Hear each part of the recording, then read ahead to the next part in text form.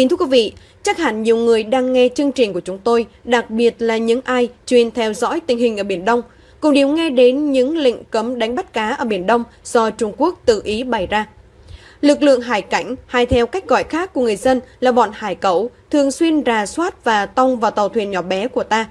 Cao điểm là mới đây, chúng đã nổ súng bắn vào một người dân, người Quảng Bình. Đây là thông tin mà báo chí rất e ngại đăng tải trong thời điểm hiện nay về lệnh cấm đánh bắt cá.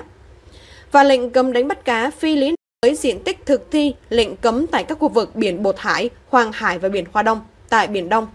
Lệnh được áp dụng đối với phạm vi từ Bắc vĩ độ 12, khu vực bao gồm một phần vịnh Bắc Bộ và quần đảo Trường Sa để củng cố cho yêu sách phi lý của mình đối với tướng Phan Văn Giang và Bộ Chính Bộ Chính trị. Vào sáng ngày hôm nay, 380 con tàu của Trung Quốc đã quay trở lại bãi đá Ba Đầu dưới sự chỉ huy của con tàu chiến Lớp Đế Dương mang số hiệu 35111. Chúng hô hào nổ súng tung tóe vào hai tàu tuần duyên của Việt Nam, khiến các chiến sĩ của ta phải rút lui. Đây là điều không có gì khó hiểu khi mà trước đó Đô đốc Lê Thế Nhân đã ra thông báo rút lui. Hai con tàu không thể nào đánh lại 400 con tàu to lớn hơn mình. Nếu cứ lao vào tàu giặc thì các nào lấy trứng trọi đá. Trong những loạt đạn tiếp theo, tàu Trung Quốc vẫn cố tình bám đuổi theo tàu Việt Nam để trả thù Hải quân Việt Nam đánh chìm một tàu Trung Quốc vào ngày trước đó. Trong khi đó, thì tướng ba sao Hải quân của Trung Quốc Ngô Trương Vĩnh tuyên bố sự trở lại của tàu Trung Quốc lần này là để giải quyết mối thù với tàu Việt Nam. Vâng thưa quý vị, vào ngày hôm qua 25 tháng 5, 14 tàu khu trục của Việt Nam do Mỹ trao tặng đã có chuyến diễn tập bắn đạn thật ở quần đảo Trường Sa. Ngay sau đó, 14 con tàu này tiến ra đảo Đá vào Đầu để xua đuổi gần 300 con tàu của Trung Quốc. Một chiếc tàu của Trung Quốc đã thử phản ứng bắn vào tàu Việt Nam nên ngay lập tức bị Hải quân Việt Nam khai hỏa nhấn chìm. Con tàu đó xuống biển khơi, ngay sau đó nhận thấy điều chẳng lành, như đụng vào tổ quyến, tàu Trung Quốc chạy mất dép về đảo Hải Nam. Và vào ngày hôm nay chi viện tất cả 400 con tàu ra bao vây trả thù Việt Nam. Tuy nhiên 14 con tàu của Việt Nam đang trên đường rút về Vịnh Cam Ranh để hoàn chỉnh thêm 7 phóng tên lửa BrahMos. Khi nhận được thông tin này thì 14 con tàu khu trục của Việt Nam đã nả 27 quả tên lửa vào tàu Trung Quốc đang xua đuổi tàu tuần duyên Việt Nam. Vào lúc đó 14 con tàu này đã cách xa bãi đá bắt đầu 20 hải lý nhưng nó vẫn bắn chính xác đến từng cm. Tàu Trung Quốc thấy vậy quá hoảng sợ vì đã không dám đuổi theo nữa. Thưa quý vị, vào trưa ngày hôm nay, cho biết bức điện tín từ Trung Nam Hải do Tập Cận Bình đã ký nêu rõ phải khai trừ một tướng Việt Nam vì đi ngược lại đường hướng chung. Tờ báo này không nêu rõ tên của những vị tướng đó, nhưng chúng ta đã biết từ đầu thì tứ trụ đã được lệnh phải cách chức tướng Phan Văn Giang. Đây là tình thế tiến thoái lưỡng nan cho Đảng Cộng sản, bởi vì vừa sợ Trung Quốc vừa sợ lòng dân. Tướng Phan Văn Giang ra khỏi chức vụ Bộ trưởng đồng nghĩa với việc là cho tướng Phan Văn Giang về hưu, như những gì hôm qua ông đã tuyên bố trước Quốc hội.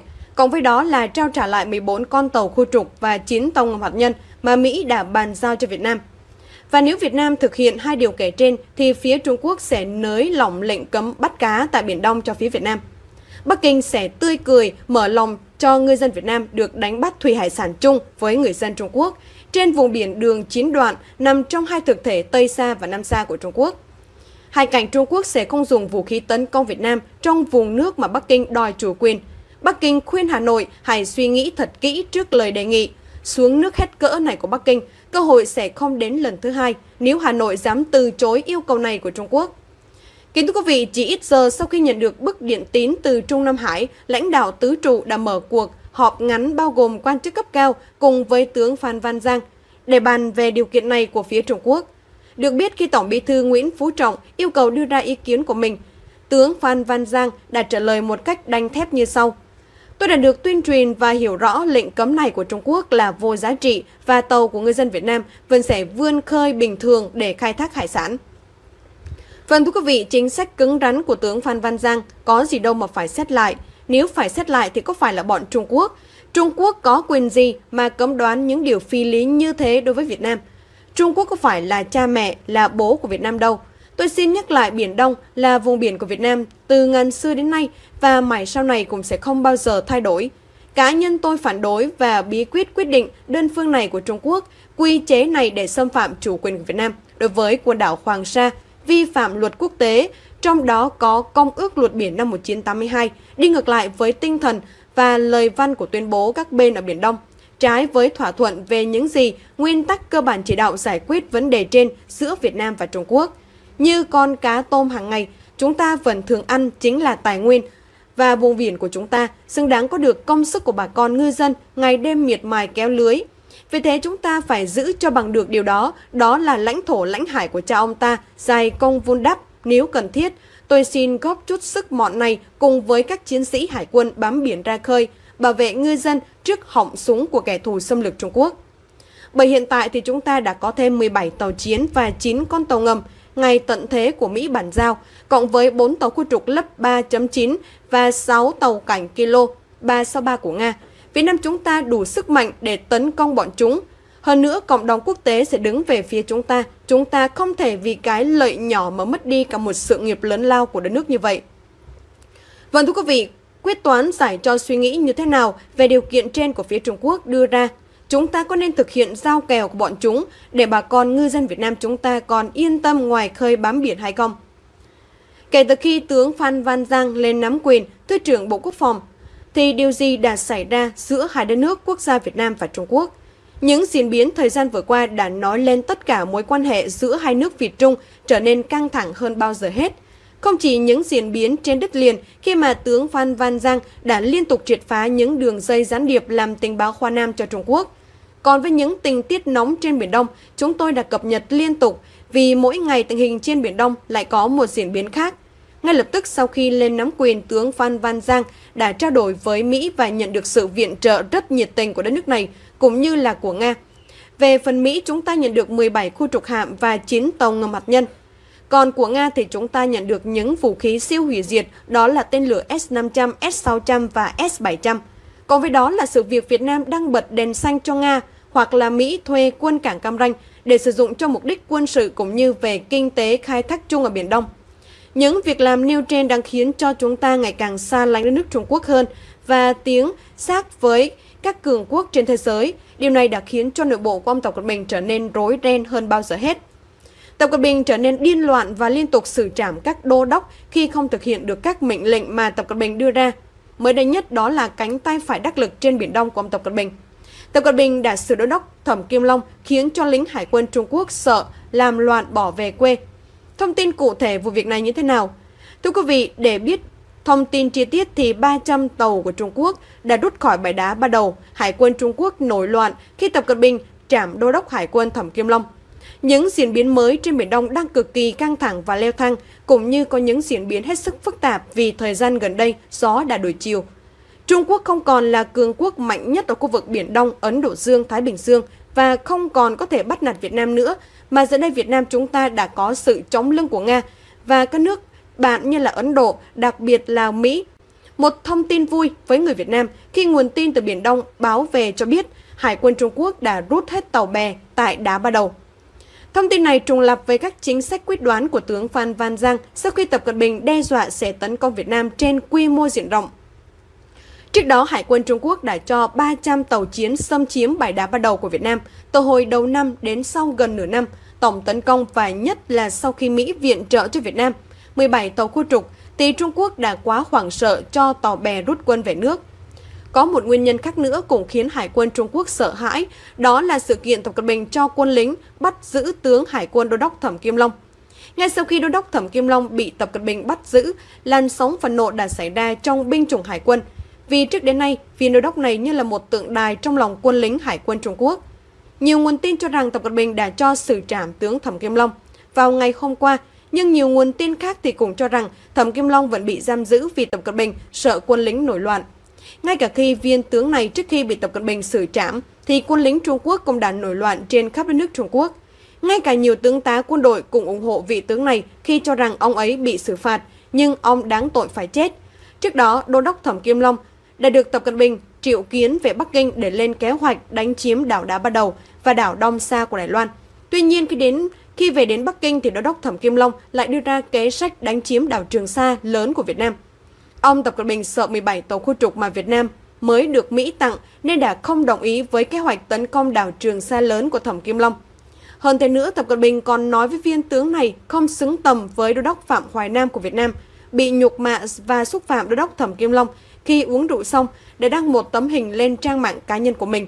Tấm hình này đăng tàu Trung Quốc bị tàu Việt Nam bắn cháy hồi ở đảo Trường Sa. Bên cạnh đó là hình ảnh của ông Tập Cận Bình. Hải quân Trung Quốc rút quân, dưới bài viết của ông còn có một hình ảnh chắp tay vái chào Việt Nam xin tha mạng. Ngay sau khi bài viết này được đăng tải trên trang cá nhân, thì ông Thẩm Kim Long ngay lập tức đã nhận được hàng triệu lượt chia sẻ. Tập Cận Bình cho quân lính bắt Thẩm Kim Long ra lệnh trảm không cần xét xử. Tuy nhiên, Thẩm Kim Long là thần tượng của Hải quân Trung Quốc nên làn sóng phản đối ông Tập Cận Bình dâng cao. Không biết ông Tập có rút lại mệnh lệnh xử trảm Thẩm Kim Long hay không thì không ai biết rõ. Xoay quanh tình hình vụ việc, Trung Quốc đã rút hết hơn 300 tàu dân quân biển ở ngoài biển khơi khỏi đá bắt đầu. Sau khi phát hiện tàu khu trục Việt Nam đến gần, cuộc chiến không cân sức giữa khu trục hạm A052 của Trung Quốc bị đánh chìm sau 45 phút đấu tay đôi giữa Lữ đoàn Hải quân Việt Nam 189, hạm đội hai bên đã bắt đầu tách rời nhau và ngừng bắn vào lúc 2 giờ 6 phút vào buổi sáng ngày hôm nay, sau khi cả hai bên được lệnh từ Bộ Chỉ huy phải rút quân. Kính thưa quý vị, hoàn hồ tướng Lương Xuân Việt dùng chiến hạm Quang Trung tiêu diệt gọn tàu sân bay Liêu Ninh tại cảng Cam Ranh. Trong những ngày qua, Trung Quốc đã dốc toàn bộ sức lực và tiền bạc đưa quân đội đi gây chiến với Việt Nam ở khu vực cảng Cam Ranh. Nguyên nhân khiến Trung Quốc có những hành động ngông cuồng như vậy là vì Việt Nam phất lờ những đề nghị của Bắc Kinh về việc từ chối nhận viện trợ khí tài quân sự của Mỹ. Đặc biệt, sự kiện tướng Phan Văn Giang mời tướng Lương Xuân Việt về làm cố vấn quân sự đã khiến Tập Cận Bình lồng lộn giận dữ khu vực biên giới. Kính chúc quý vị một ngày mới an lành và nhiều niềm vui. Quý vị thân mến, theo một số nguồn tin trong nước cho biết, vào ngày hôm qua, Việt Nam đã bất ngờ lên kế hoạch di tản dân chúng, đưa hàng ngàn binh sĩ tới biên giới để giao chiến với Trung Quốc. Trong khi đó, Việt Nam được cho là đã âm thầm sơ tán gấp người dân ra khỏi nhiều khu quay làng, gần với các khu vực gần các cột mốc biên giới phía Bắc. Hà Nội được lệnh đưa binh sĩ thuộc binh đoàn 2 đang tấn công tới tiếp quản.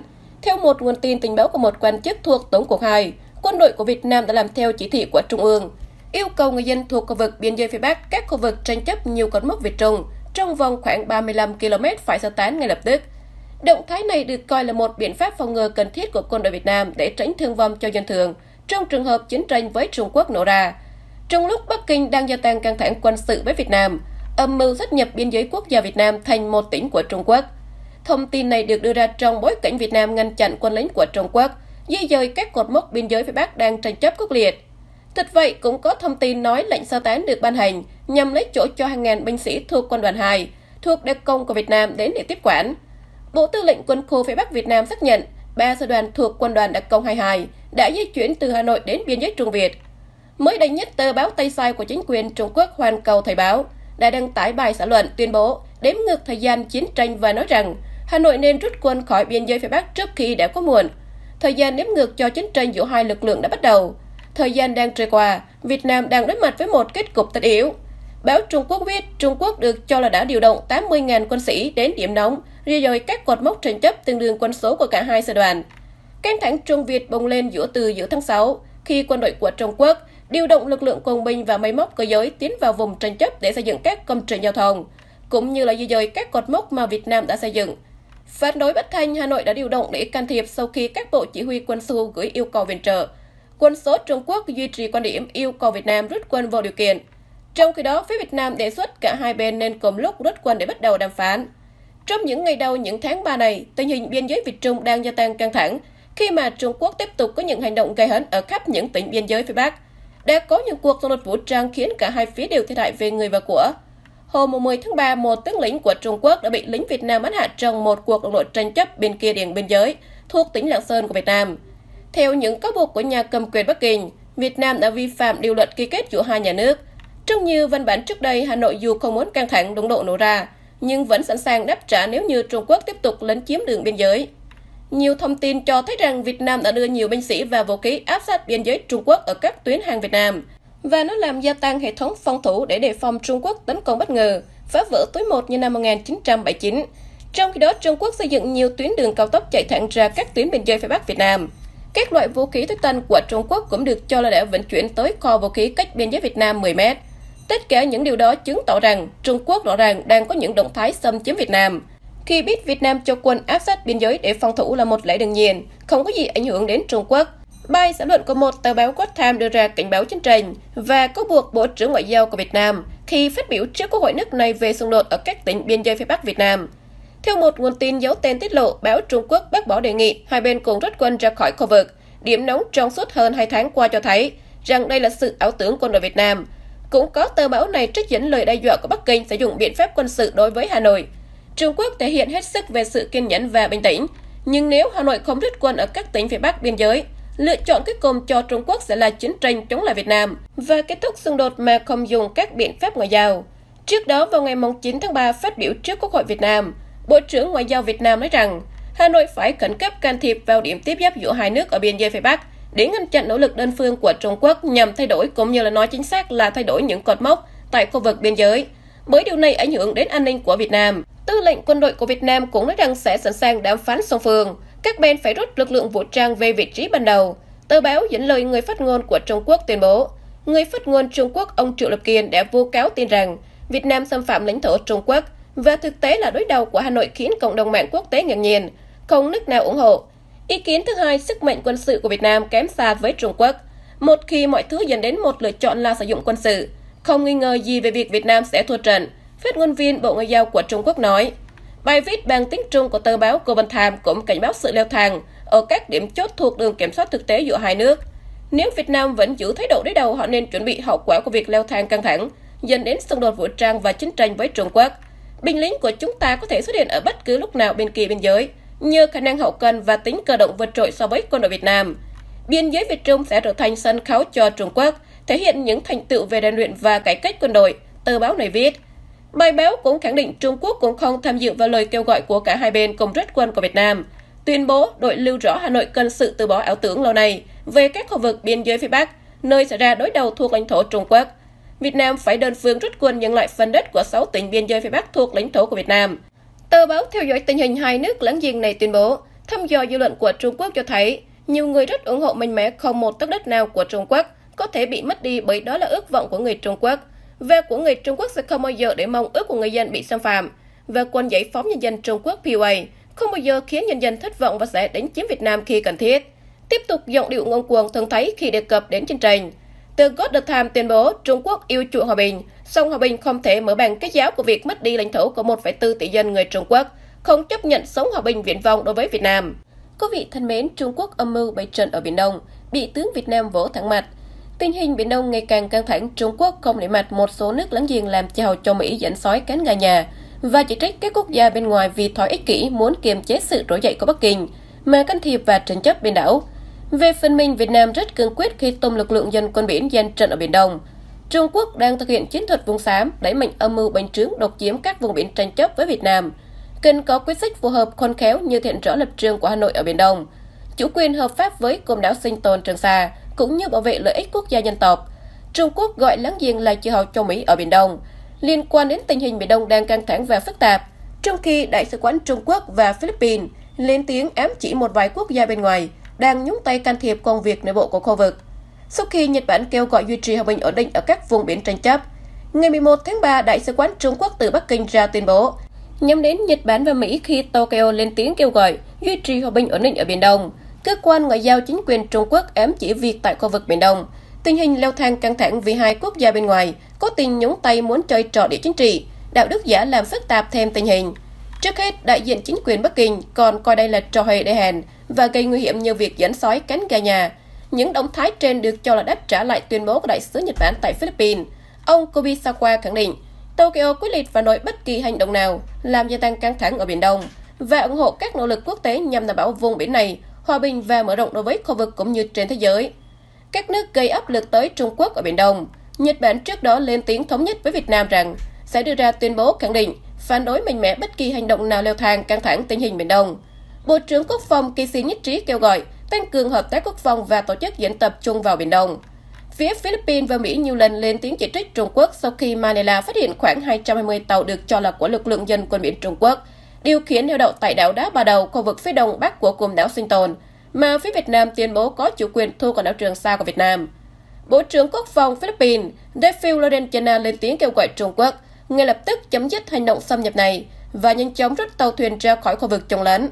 Sự hiện diện của số lượng lớn tàu Trung Quốc là hành động khiêu khích mang tính quân giáo khu vực, Ngoại trưởng Philippines khẳng định. Ngay trong ngày 30 tháng 4, chính quyền Manila đã gửi công hàm đến Trung Quốc phản đối sự hiện diện của hơn 200 tàu dân quân biển của Trung Quốc tại vùng biển tranh chấp. Vào ngày 10 tháng 3, Tổng tư lệnh quân đội Philippines xác nhận đã chỉ thị cho lực lượng biển triển khai thêm tàu thuyền, gia tăng mức độ giám sát tăng tầm nhìn và đảm bảo an ninh quốc gia an toàn cho người dân của Philippines.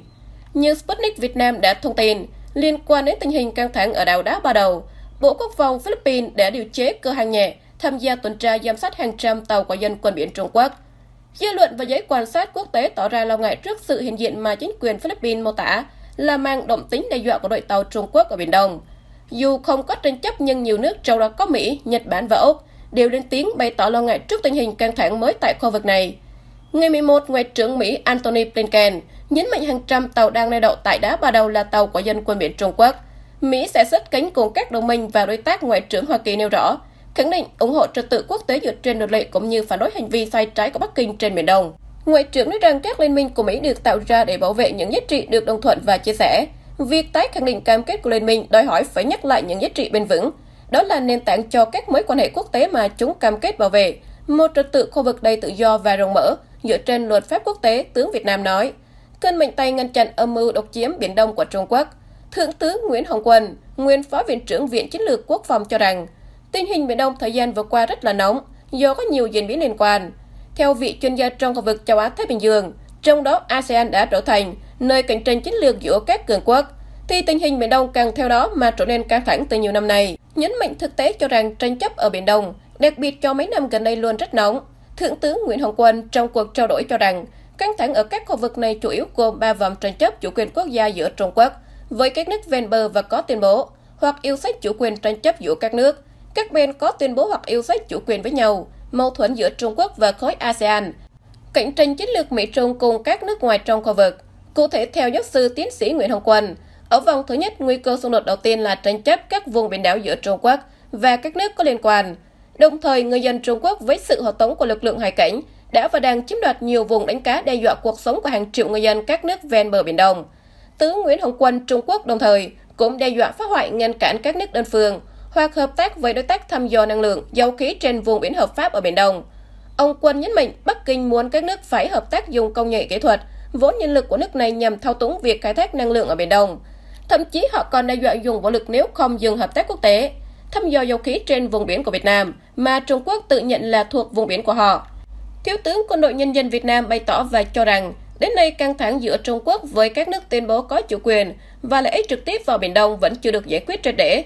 Cách tiếp cận phần này loại bỏ tư cách của tòa trọng tài hay sự hòa giải của bên thứ ba trong việc giải quyết các yêu sách lãnh thổ chồng lấn trên biển, làm tăng xuống chia rẽ trong nội bộ ASEAN về vấn đề Biển Đông. Theo Thiếu tướng Nguyễn Hồng Quân, ngay trong danh sách khối ASEAN cũng có cách ứng xử rất là khác nhau về vấn đề Biển Đông. Việt Nam và Philippines theo nguyên phó viện trưởng Viện Chiến lược Quốc phòng có lập trường rõ ràng cứng rắn, trong khi đó một số nước khác lại có phản ứng riêng mình. Việt Nam, Philippines đưa ra những lập trường cứng rắn để đấu tranh chống lại các động thái gặm nhấm của Trung Quốc, nhằm tạo ra sự kiềm chế thực tế một số nước khác của cách tiếp cận khác. Nói về vòng thứ ba, vị chuyên gia bổ sung thêm rằng, đây là mâu thuẫn nảy sinh từ cạnh tranh chiến lược giữa Trung Quốc và Mỹ, cùng các nước trong ngoài khu vực có lợi ích kinh tế, hàng hải, hàng không, thương mại quân sự ở Biển Đông. Theo ông Nguyễn Hồng Quân, chính tham vọng bá quyền phi pháp của Trung Quốc muốn độc quyền quản lý tiến tới độc chiếm Biển Đông để thực hiện hóa giấc mơ trở thành cường quốc gây nên nguy cơ xung đột, căng thẳng trong khu vực. Mức độ căng thẳng và nguy cơ xung đột trên Biển Đông thời gian qua rất nặng nề, khẩn trương hơn so với trước đây. Vị chuyên gia Việt Nam cho rằng Trung Quốc muốn lấy Biển Đông làm nơi xuất phát các hạm đội tàu ra Thái Bình Dương, ra các đại dương. Đây còn là một trong những điểm để triển khai chiến lược còn sáng kiến vành đai con đường. Trong khi đó, Mỹ cùng nhiều nước lớn ngày càng tăng hiện diện ở Biển Đông. Trung Quốc dùng chiến thuật vùng xám mà Biển Đông ra sao? Nguyên Phó Viện trưởng Viện Chiến lược Quốc phòng cho biết, để từng bước thực hiện hóa tham vọng độc chiếm Biển Đông, Trung Quốc đã tổ chức các loại tàu cá công suất lớn. Hoạt động xa bờ hầu hết là do dân quân Mỹ điều hành. Tướng Nguyễn Hồng Quân nhấn mạnh từ năm 2009, Trung Quốc đã đưa dân quân biển tham gia nhiều vụ đụng độ đáng chú ý trên Biển Đông, như quay rối tàu Imposo của Mỹ năm 2009 tại phía nam đảo Hải Nam, hỗ trợ hải quân Trung Quốc chiếm bãi cạn Scarborough năm 2012, hỗ trợ tàu HD981 thăm dò trái phép trên vùng biển đặc quyền kinh tế và thêm lục địa của Việt Nam. Năm 2014, đánh cá trộm tại vùng biển Indonesia năm 2016, hay quấy rối tàu thăm dò dầu khí của Malaysia tại bãi Lusonet năm 2019. Đặc biệt, lực lượng này còn hộ tống bảo vệ tàu Hải Dương 8 hoạt động thăm dò trái phép tại bãi tư chính của Việt Nam. Tháng 7 năm 2019, theo vị chuyên gia Việt Nam, Trung Quốc đang tăng cường dân quân biển, làm âm mưu dần kiểm soát tiến tới độc chiếm Biển Đông, biến vùng biển tranh chấp thành nơi thuộc chủ quyền của Bắc Kinh. Đó chính là mục đích sâu xa việc Trung Quốc sử dụng tàu dân quân biển. Cũng theo Thiếu tướng Nguyễn Hồng Quân, Trung Quốc cho tàu dân quân biển đâm và quấy rối tàu nước ngoài, hoạt động trong đường chính đoạn phi pháp để củng cố sự hiện diện ở Biển Đông. Trung Quốc lợi dụng việc các nước kiềm chế tránh leo thang xung đột để thực hiện mưu đồ cho riêng mình. Dư luận quốc tế từng cảnh báo xung đột trên Biển Đông, nhiều khả năng liên quan đến dân quân biển Trung Quốc, bởi lực lượng này không có cơ chế liên lạc và xuống thang căng thẳng như hải quân, dân quân biển cũng không thuộc phạm vi áp dụng. Bộ quy tắc tránh va chạm bất ngờ trên biển mà hải quân các nước đã ký kết hồi tháng năm 2014. Đây là chiến thuật vùng xám của Trung Quốc nhằm mục tiêu chiếm đoạt vùng biển đảo của các nước khác, mà không phải dùng vũ lực trực tiếp với quy mô lớn. Chiến thuật này có đặc điểm là không để xung đột, vượt ngưỡng thành chiến tranh nóng và tiên tiến. Thiếu tướng quân cũng nêu quan điểm, việc Trung Quốc thông qua luật hải cảnh là bước củng cố và tăng cường chiến thuật này ở Biển Đông, gây thêm căng thẳng trong khu vực. Việt Nam cần làm gì trước mô đồ của Trung Quốc ở Biển Đông? Về giải pháp khẳng định Hà Nội nên duy trì lập trường chủ quyền Biển Đông bằng chính trị, ngoại giao và trên thực địa. Thiếu tướng Nguyễn Hồng Quân cho rằng Việt Nam và Trung Quốc chủ trương thỏa thuận giải quyết tranh chấp trên biển bằng biện pháp hòa bình, nhưng không có nghĩa là chỉ đàm phán ngoại giao mà còn có thể thông qua cơ chế và tài phán quốc tế. Cùng với sự nỗ lực ngoại giao, Việt Nam phải chuẩn bị sẵn sàng hồ sơ, tư liệu lịch sử chứng lý để có thể đưa vấn đề Biển Đông ra tòa án quốc tế khi cần thiết. Nguyên Phó Viện trưởng Viện Chiến lược Quốc phòng thẳng thắn. Ngoài việc tạo lập trường đoàn kết ASEAN theo Thiếu tướng Nguyễn Hồng Quân, Việt Nam cũng tăng cường hợp tác với các nước lớn trong khu vực và thế giới, đặc biệt trong lĩnh vực chia sẻ thông tin tình báo, cung cấp phương tiện trang bị bảo vệ chủ quyền biển đảo. Bên cạnh đó, Hà Nội cũng nên tranh thủ các diễn đàn quốc tế chỉ do ý đồ chiến thuật của Trung Quốc, tham gia thường xuyên hơn các đợt diễn tập quốc tế như RIMPAC trong mối quan hệ với Trung Quốc tiếp tục duy trì hòa bình ổn định. Đề nghị quân đội hai nước cam kết không nổ súng trước, vị chuyên gia đề nghị lực lượng hải quân, không quân, cảnh sát biển kiểm ngư dân quân biển Việt Nam cần được đầu tư nguồn lực nhiều hơn nữa, hiện đại hóa trang bị không thể xảy ra bị động bất ngờ. Cùng với việc duy trì lực lượng lao động hòa bình trên biển sẵn sàng của lực lượng cho Pháp, theo Thiếu tướng Nguyễn Hồng Quân, Việt Nam nên tăng cường đưa dân số ra sống ở các đảo thuộc Trường Sa của Việt Nam. Tin nóng vào đêm ngày hôm qua, một cuộc đấu súng rất dữ dội đã nổ ra tại căn cứ hải quân của Việt Nam tại Vịnh Cam Ranh. Đây là một cảng biển nước sâu ở Việt Nam, thuộc thành phố Cam Ranh và huyện Cam Lâm, tỉnh Khánh Hòa. Vịnh này thường được xem là biển nước sâu tốt nhất Đông Nam Á, thích hợp làm nơi tàu bè trú ẩn khi biển động. Vì thế, chiến lược mà Cam Ranh được sự chú ý quân sự qua nhiều thời kỳ. Hải quân Pháp, Hoa Kỳ và Liên Xô đã từng dùng vịnh Cam Ranh làm căn cứ chiến sự. Theo tiết lộ từ một số nguồn tin từ Hải quân Việt Nam, từ tàu ngầm hạt nhân 094 lớp dìn 11.000 tấn của Trung Quốc đã xâm nhập vào cảng biển Cam Ranh. Chúng chở theo 300 lính đặc nhiệm tinh nhuệ với mục đích cho nổ khô căn cứ quân sự hải quân này. Như chúng ta cũng đã biết, 136 lính đặc nhiệm Việt Nam đã được tàu ngầm lớp kilo 636 xâm nhập vào bờ biển đảo Jin, một hòn đảo khá hoang vắng trên nhiều hòn đảo của đảo Hải Nam. Sau đó thì người lính Việt Nam đã di chuyển đến đảo Hải Nam, cách khu căn cứ quân sự Hải quân Du Lâm 4 km. Tại đây, lính đặc nhiệm Việt Nam đã cho nổ tung cơ sở huấn luyện tình báo Hà Nam án ngữ. Đây được xem là một cơ sở thuộc cho nhánh cục tình báo Hà Nam Trung Quốc đặt tại đảo Hải Nam. Theo nguồn tin từ bốn thông tin tình báo Hà Nam bị bắt tại Hà Giang, cơ sở này mỗi năm 1.000 học viên, chúng sẽ được điều động sang một nước duy nhất đó là Việt Nam. Bởi chúng được đào tạo 25 tiếng Việt và 55 nghiệp vụ ám sát công nghệ thông tin, thu thập dữ liệu và nếu cần chúng có thể ôm bom tự sát. Và anh nghĩ đây là căn cứ quân sự quá nguy hiểm với nền an ninh quốc gia Việt Nam, nên quân ủy Trung ương đến lệnh cho Hải quân và Cục Tình báo Hài kết hợp đánh giặc ra từ trong. Hai tiếng đồng hồ xâm nhập căn cứ này, 136 lính Việt Nam đã cho tổ tung gần như toàn bộ cơ sở hạ tầng và nhiều lính tình báo Trung Quốc. Kính thưa quý vị, có lẽ vì sự vụ này, ngay lập tức Hải quân Trung Quốc đã kết hợp với tình báo Hà Nam đã trả đũa Việt Nam vào lúc 11 giờ đêm ngày hôm qua. 300 lính đặc vụ Trung Quốc từ tàu ngầm Thai 094 tách rời lên những chiếc xuồng cao su, gắn máy cao tốc đâm thẳng vào căn cứ quân sự Hải quân Việt Nam. Trước đó, tướng Bùi Cao Khánh đã cảnh báo có rất nhiều tàu Trung Quốc sẽ tấn công cảng biển Cam Ranh hoặc Đà Nẵng. Chính vì thế, vào ngày hôm qua, căn cứ Hải quân Cam Ranh và Đà Nẵng đã được quân đội ta tăng cường quân số và tàu bè. Tuy nhiên, sự chuẩn bị của Hải quân Việt Nam cũng chỉ mang đến một tín hiệu quả nhất định, bởi vì Cam Ranh dài 60 km chạy dọc đến thành phố Nhà Trang, không biết định sự tấn công vào khu vực nào. Theo Đại tá Hải quân Việt Nam, Trương Quý, 300 lính giặc khi được vào đến bờ vịnh đã tập trung tấn công vào kho đạn pháo. Kho đạn này cách bờ biển 2 km, được xây dựng từ thời Mỹ quản lý bờ biển này và nó chứa hơn tất cả 30.000 tấn đạn dược của các loại tàu cá, và tàu của ta. Ngoài đạn pháo còn có các loại rocket thủy ngư lôi, bom thông minh QQ-6 của dòng máy bay phản lực.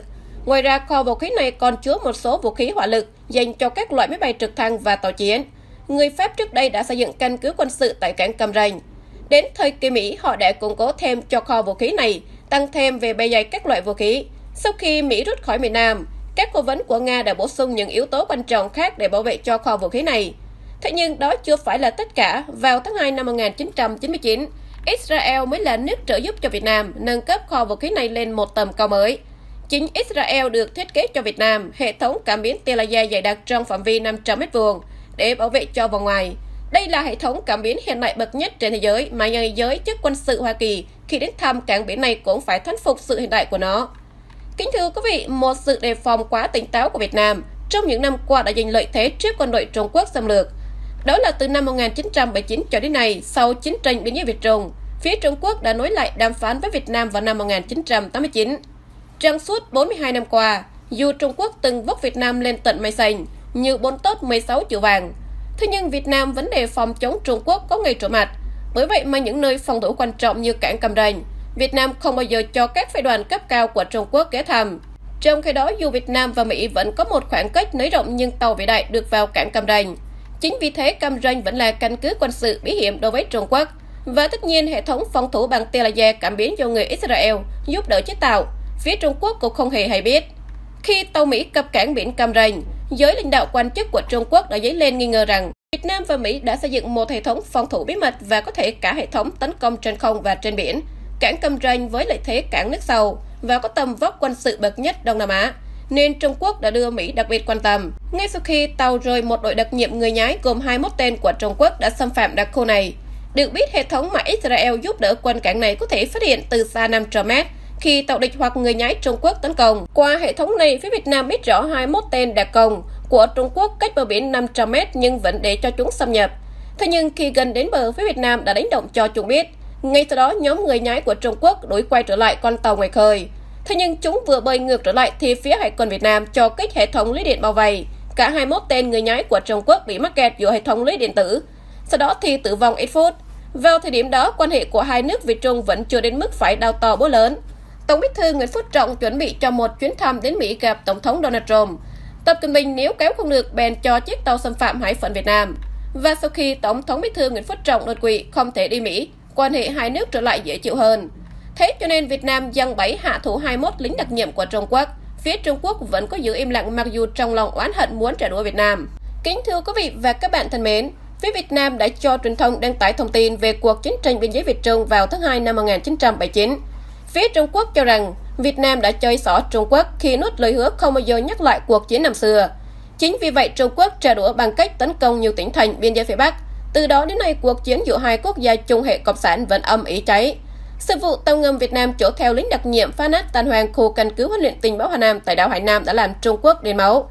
Chính vì vậy, vào đêm ngày hôm qua, 300 lính đặc nhiệm của Trung Quốc đã xâm nhập vào cảng biển Cam Ranh, tấn công vào kho dự trữ vũ khí khổng lồ của hai quận và không quân Việt Nam rút kinh nghiệm lần tấn công vào tháng 3 năm ngoái. Lính Trung Quốc dùng xuồng cao su cao tốc để vượt qua hệ thống lưới điện. Khi đến bờ, chúng sử dụng loại xe gấp trượt băng tăng tốc trên đoạn đường 2 km. Dự tính của chúng đã tấn công luôn vào hai chốt canh gác biển. Từ đó chúng sẽ cướp lấy xe nhà binh và tấn công vào kho vũ khí. Tuy nhiên, đến khi được các chốt chặn này thì lính gác của ta đã được lệnh rút lui để nhử lính Trung Quốc vào sâu hơn. Khi lính Trung Quốc cách kho vũ khí 500 m thì bất ngờ, hệ thống cảm biến của Israel thiết kế cho Việt Nam tăng tốc và hoạt động. Lính Trung Quốc có lẽ chưa bao giờ gặp phải một hệ thống nào như vậy. Dù rằng trong thời gian chúng huấn luyện có được học qua, trong giây lát những tên lính Trung Quốc đi đầu thi nhau đổ cả xuống đất. Những luồng điện tia laser trong đêm vẫn đan xen chồng chéo vào nhau. Những tên đi sau không dám tiến lên nữa. Và ngay cả đồng đội của chúng gục ngã cũng không có tên nào dám đến cứu bởi rất có thể không cứu nổi đồng đội mà bản thân kẻ cứu cũng bị dòng điện tia laser nấn chín. Đúng lúc đó lính Trung Quốc đang bối rối chưa tìm ra phương pháp tấn công bằng cách nào, thì loạt tiếng nổ lớn vang lên từ khắp những ngọn núi vây quanh căn cứ Cam Ranh. Lính Việt Nam reo hò và sóng dậy lính Trung Quốc không tên nào nói với tên nào đều quay đầu bỏ chạy. Tuy nhiên chúng chạy đâu cho thoát khi bộ đội của ta bao vây tứ phía. Được biết cuộc chiến đấu trên bãi biển Cam Ranh diễn ra không bao lâu. Những tên lính Trung Quốc cuối cùng sau 30 phút chiến đấu phải buông xuống đầu hàng vô điều kiện. Vào sáng hôm nay, nhiều tàu chiến và tàu hải cảnh Trung Quốc đã xâm nhập quần đảo Trường Sa và Hoàng Sa của Việt Nam. Tàu hải cảnh Trung Quốc CCG 5304 đã vừa rời vùng biển phía tây nam bãi tư chính chạy theo nên hướng tây bắc để đi đến các lô khai thác dầu khí 0601 và 0503 của Việt Nam. Tàu thực hiện là thâm nhập trái phép và thứ năm là quay rối hoạt động khai thác của các lô 0601 và 0503, chủ yếu là lô 0503, tâm lô khai thác dầu khí quan trọng nhất của ta. Lô 0503 chỉ cách Phan Thiết 186 hải lý, khoảng cách đến đảo Phú Quý và con đảo còn gần hơn rất nhiều. Tình hình di chuyển con tàu này đã được Hải quân Việt Nam theo dõi chặt chẽ, rất có thể chúng sẽ quay ngất lại đâm thẳng vào đất liền Việt Nam của chúng ta. Kính thưa quý thính giả và các bạn thân mến, theo tin từ Khmer Time cho biết, hai tàu vận tải chở khí tài quân sự của Trung Quốc đã bị tai nạn chìm ngoài khơi căn cứ riêng của Campuchia. Nguyên nhân dẫn đến vụ tai nạn là do va vào thủy ngư lôi tự hành của Việt Nam. Bộ Quốc phòng hai nước Trung Cam tuyên bố đang khẩn trương điều tra làm rõ vụ việc và nếu xác định rõ ràng người nhái Việt Nam gây ra vụ việc này, Liên minh Trung Cam sẽ đáp trả tương xứng và sẽ yêu cầu bồi thường thiệt hại. Vào năm 2010, Bộ Quốc phòng Việt Nam đã đề nghị quân chủng hải quân đưa 12 kỹ sư duy nhất vào Viện Nghiên cứu Kỹ thuật sang Nga để nghiên cứu, chế tạo và sản xuất thủy ngư lôi. Sau số năm học tập nghiên cứu tại đây, các kỹ sư Việt Nam đã khiến cho Bộ Quốc phòng Nga bất ngờ vì tính cần cù chịu khó ham học hỏi của người Việt Nam. Và đến năm 2016, các kỹ sư Việt Nam đã hoàn thành khóa học một cách xuất sắc. Ngoài ra còn sáng tạo ra loại thủy ngư lôi tự do tìm mục tiêu bằng sóng âm để bất ngờ tấn công đối phương. Chiến thuật đánh du kích này rất hiếm có quốc gia nào trên thế giới có thể sánh được với người Việt Nam. Và trước sự đột phá sáng tạo ra thủy loại ngư lôi tự hành của các kỹ sư Việt Nam, đã đưa Bộ Quốc phòng Nga đề nghị với chính phủ Việt Nam cho phép 12 kỹ sư này ở lại Nga để có thêm thời gian hoàn thiện thiết kế và sản xuất loại thủy lôi, được ví như những chiến sĩ biệt kích thầm lặng có tính hủy diệt cao nhất và tập thể 12 kỹ sư Việt Nam bắt đầu suy nghĩ ký tên vào văn bản đề nghị của chính phủ Nga phải chuyển giao bằng sáng chế công nghệ mới này cũng như được sản xuất tại Việt Nam. Nơi đề nghị này đã được chấp thuận với Nga là nước xuất khẩu vũ khí lớn nhất trên thế giới. Nếu thành công trong việc chế tạo vũ khí thầm lặng nhưng có tính hủy diệt cao nhất này, càng khiến cho xuất khẩu vũ khí của Nga tăng trưởng hơn nữa. Kính thưa quý vị và các bạn thân mến, sau một năm hoàn thiện thiết kế và đưa vào hoạt động, các thủy lôi mới lần đầu tiên được đưa ra thử nghiệm đã khiến toàn bộ Bộ Quốc phòng Nga và các nhà quân sự quốc tế phải bàng hoàng vì độ chính xác cao và sức công phá khủng khiếp nhất trên thế giới. Vào năm 2017, nhóm kỹ sư này đã bí mật về nước, đích thân Thủ tướng Chính phủ và Bộ trưởng Quốc phòng đến thăm hỏi động viên. Sau đó thì bàn giao cho quân chủng hải quân, nhanh chóng xây dựng nhà máy X-28 và tạo mọi điều kiện thuận lợi cho 12 kỹ sư giỏi nhất tại Viện Kỹ thuật Hải quân ngày đêm chế tạo. Sự nỗ lực không mệt mỏi của tập thể cán bộ chiến sĩ trong 6 tháng đã cho những quả ngư lôi đầu tiên. Những quả này được thử nghiệm tại căn cứ hải quân ở cảng Cam Ranh và nó được ví như những thợ lặn ngày đêm không cần đến oxy, giống như một con người. Ngoài ra còn có thêm chân vịt để tự di chuyển dưới lòng biển, bộ phận do sóng âm tự tìm kiếm mục tiêu. Sau khi phát hiện được tàu ngầm, ngư lôi và tàu chiến, nó sẽ tự động đến mục tiêu để tấn công, như những chiến binh cảm tử liều chết mà không có bất kỳ trang thiết bị nào hiện đại nhất trên thế giới có thể ngăn chặn được. Vào cuối năm 2018, quân chủng Hải quân Việt Nam đã đưa những quả thủy lôi đầu tiên tham gia tập trận giả định và tấn công mục tiêu. Nếu được thả xuống biển và những tàu chiến giả định đi vào gần khu vực đã thả những quả thủy lôi. Điều kinh ngạc đã xảy ra khi những tàu ngầm và tàu chiến có khoảng cách 20 đến 30 km đã bị thủy lôi âm thầm tấn công theo kiểu liều chết. Những mục tiêu giả định này đã bị phá hủy hoàn toàn. Sức công phá bằng thuốc nổ TNT nến chặt giữa trong bụng thủy lôi như những thùng phi chứa nước không một loại tàu sân bay tàu khô trục nào và tàu ngầm nào có thể chống đỡ được hàng tấn thuốc nổ TNT đã được nén chặt chứa trong bụng thủy lôi. Phát nổ tính cơ động và di chuyển thầm lặng dưới nước của những loại thủy lôi được mang tên đội quân du kích do Việt Nam sản xuất đã khiến cho Hải quân Trung Quốc mất ăn mất ngủ mỗi khi tuyên bố tập trận trên Biển Đông. Ngoài ra, những quả thủy lôi này còn có được có thể thả xuống các cửa sông suối, giúp ích cho việc phòng thủ tại các bờ biển của nước ta. Kính thưa quý thính giả, qua một nguồn tin tình báo từ Campuchia báo về cho Tổng cục 2 Bộ Quốc phòng Việt Nam, nắm được thông tin có hai chuyến tàu vận tải của Trung Quốc chở khí tài quân sự cho Campuchia. Chuyến tàu này sẽ cập bến cảng biển Rim. Đây là căn cứ hải quân của Trung Quốc được Thủ tướng Hun Sen Campuchia cấp chiếu phép theo hợp đồng 10 năm và hợp đồng tự động gia hạn khi hết hạn. Nội dung hợp đồng này có nghĩa Trung Quốc được toàn quyền sử dụng căn cứ hải quân tại bến cảng Rìm và hợp đồng chỉ mang tính hình thức để nó phù hợp với các nguyên tắc quan hệ ngoại giao quốc tế. Trong nhiều năm qua, Campuchia đã để cho Trung Quốc đặt căn cứ quân sự, vì thế ép Việt Nam vào thế phải đề phòng từ xa trước các mối nguy hiểm tiềm tàng, trước mắt và lâu dài. Việt Nam có chung đường biên giới với Campuchia, sẽ là mối nguy hại khi Trung Quốc đặt căn cứ quân sự tại nước này để nhắm đến Việt Nam. Công việc đặt ra cho lực lượng hải quân vùng 4 là phải tìm mọi cách ngăn chặn những cái tay quân sự được chỗ trên hai tàu có trọng lượng tải lớn. Những loại vũ khí này phải được ngăn chặn trước khi đưa chúng lên bờ. Công việc này nhanh chóng được triển khai bằng thủy lôi, tự tìm mục tiêu để thầm lặng tấn công. Một đội tàu cáo có 5 chiếc đã được những người Khmer Krom gốc Campuchia tiến hành vào cuộc. Mỗi tàu băng keo hai quả thủy lôi xuất phát từ bờ biển ngoài khơi đảo Phú Quốc. Đề phòng hải quân Trung Quốc và Campuchia phát hiện năm con tàu đánh cá này đã phải cắm cờ Campuchia và tiến đến khu vực vận tải của Trung Quốc đang hoạt động trong căn cứ hải quân Rim. Khi đến gần khoảng cách 30 km, những tàu đánh cá bắt đầu thả neo bật đèn sáng và giả vờ câu mực và rải lưới. Các thợ lặn nhanh chóng thả những quả ngư lôi tự tìm mục tiêu này xuống biển. Sau khi thả xong tất cả các tàu câu mực này đã cho nổ máy để di chuyển về lại gần đảo Phú Quốc. Những quả thủy lôi đã tự hành lao thẳng vào bụng tàu vận tải, tạo ra những tiếng nổ lớn, khói bụi bốc lên cao kín mít một gấp trời. Hai tàu vận tải quân sự của Trung Quốc đã từ từ từ chìm dần xuống biển trước sự chứng kiến của lính hải quân Trung Quốc. Và đến khoảng 3 giờ sáng, Trung Quốc đã điều động máy bay sân ngầm liên tục quanh thảo trên quanh khu vực để do tìm thủy lôi. Sau khi do tìm xong 8 giờ sáng, nhiều tàu cứu hộ cứu nạn và thợ lặn đã được điều đến để trục vớt hai tàu vận tải đã bị thủy lôi tự hành của Việt Nam và tấn công chìm. Hải quân hai nước Trung Cam được tiến hành họp báo. Phó Đô đốc Hạm đội Nam Hải Lý Tiểu Hồng trả lời ngắn gọn với báo chí. Đây là âm mưu phá hoại gây hậu quả đặc biệt nghiêm trọng cả về kinh tế lẫn quân sự cho hai nước Trung Cam. Chúng tôi đang trong quá trình điều tra làm rõ vụ việc và sẵn sàng trả đũa tổng lực sau khi phát hiện ra nước láng giềng tham gia vào công việc phá hoại này.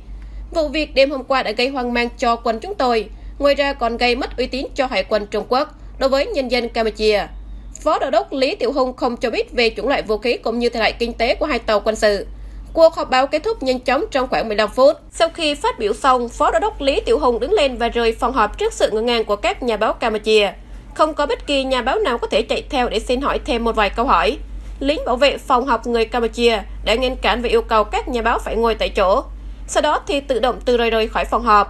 Mối quan hệ ngoại giao chủ tới giữa Trung Quốc và Campuchia đã khiến nhiều tướng lĩnh của Campuchia hết sức bất bình. Qua vụ việc, buổi họp báo đã khiến cho các nhà báo có mặt chỉ biết liếc nhìn. Họ đều tự hiểu nếu có thái độ với các tướng lĩnh Trung Quốc sẽ tự chuốc lấy hậu quả nghiêm trọng cho bản thân và gia đình mình. Thủ tướng Hun Sen của Campuchia đã giao cố hết sức biến đất nước này thành chư hầu cho Trung Quốc. Muốn làm gì thì làm. Không chỉ người dân Campuchia và tất cả những người dân trên khắp thế giới đặt chân đến Campuchia, cảnh tượng đầu tiên mọi người nhìn thấy trên khắp đất nước này giống như là một tỉnh lỵ hay là một khu tự trị của Trung Quốc. Mối quan hệ ngoại giao giữa Trung Quốc và Campuchia không giống như một mối bang giao quốc tế thông thường và cũng không giống như đồng minh quân sự giữa Mỹ với Nhật Bản và Liên minh châu Âu. Các quốc gia này đều bình đẳng không được can thiệp vào công việc nội bộ của nhau. Mọi mâu thuẫn đều phải thông qua đàm phán và khi quốc gia nào bị nước ngoài tấn công, thì liên minh có quyền đưa quân đội sang bảo vệ. Trong khi tại Campuchia, các cố vấn của Trung Quốc được toàn quyền can thiệp vào kinh tế, chính trị, văn hóa, nhất cử nhất động của Thủ tướng Hun Sen phải đều phải xin ý kiến từ các cố vấn chính trị người Trung Quốc. Về kinh tế, Trung Quốc được toàn quyền phát triển cơ sở hạ tầng, dẫn đến mâu thuẫn xã hội ngày càng gay gắt. Người Hoa được chính phủ Trung Quốc tạo mọi điều kiện phát triển những khu đất vàng tại các khu trung tâm đô thị do người Hoa làm chủ và đẩy người dân bản xứ Campuchia vào sâu trong bên trong, tạo ra cộng đồng người Hoa là ông chủ khách sạn trên đất nước này.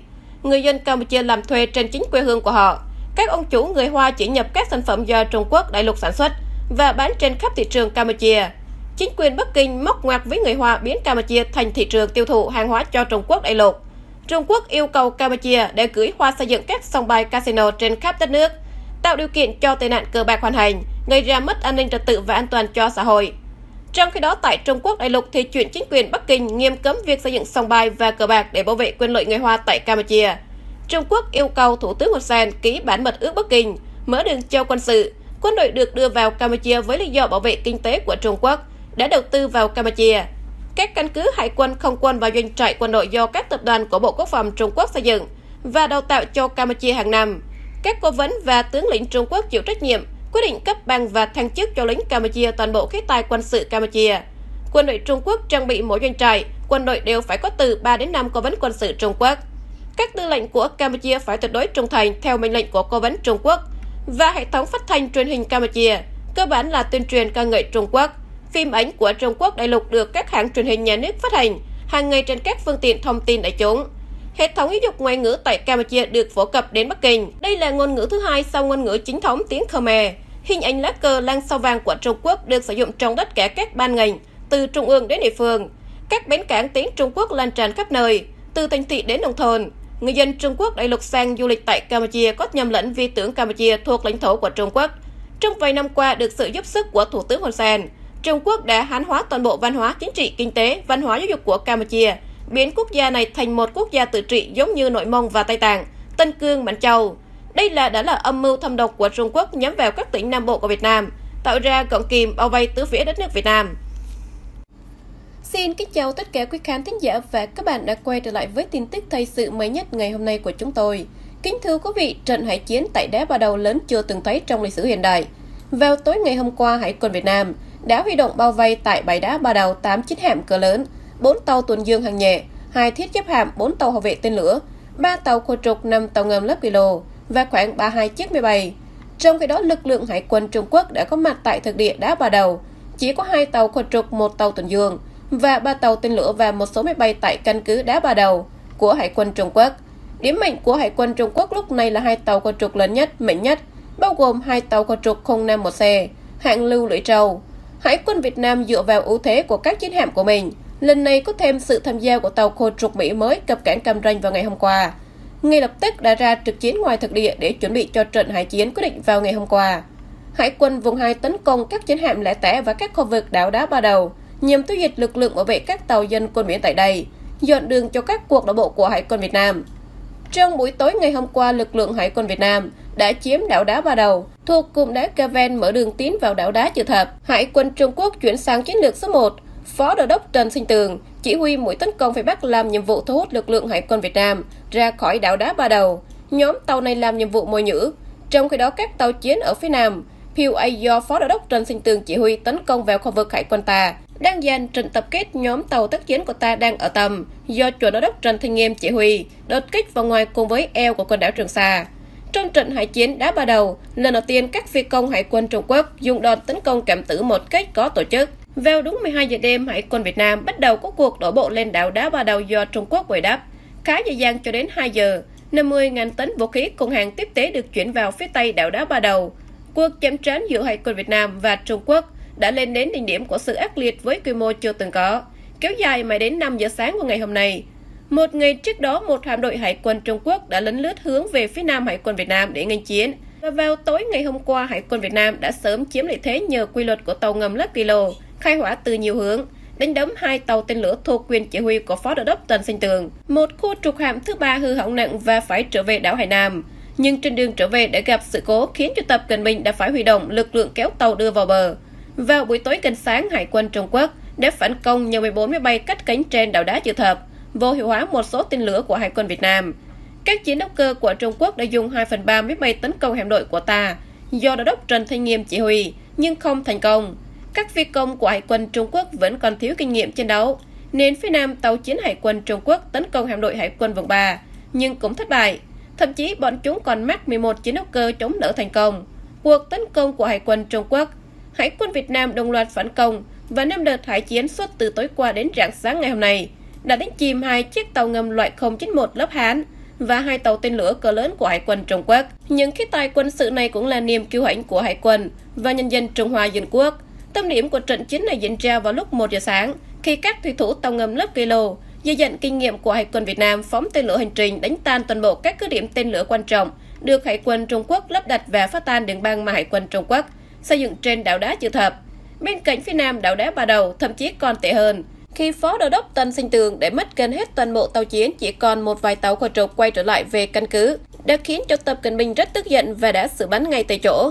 Trong những tuần gần đây, Hải quân Việt Nam đã đánh bật lực lượng Trung Quốc ra khỏi các đảo ở phía nam Trường Sa. Trong lúc này, Hải quân Việt Nam ta chưa chiếm được một số đảo quan trọng, tạo bàn đạp cho máy bay ném bom và tiêm kích của Hải quân ta xuất kích tấn công các đảo chính của Trung Quốc như đảo đá Tư Nghĩa, nếu như để lại đá tư nghĩa trong tay quân Trung Quốc sẽ là một đòn đánh vào thân thế của Việt Nam và là một sự sỉ nhục và danh dự của người dân Việt Nam là không thể giữ trọn vẹn lãnh hải thiêng liêng của Tổ quốc. Lính Trung Quốc chiếm đảo đá Tư Nghĩa, hải quân Việt Nam chúng tôi sẽ trở lại, ám chỉ rằng sẽ trở lại đá Tư Nghĩa.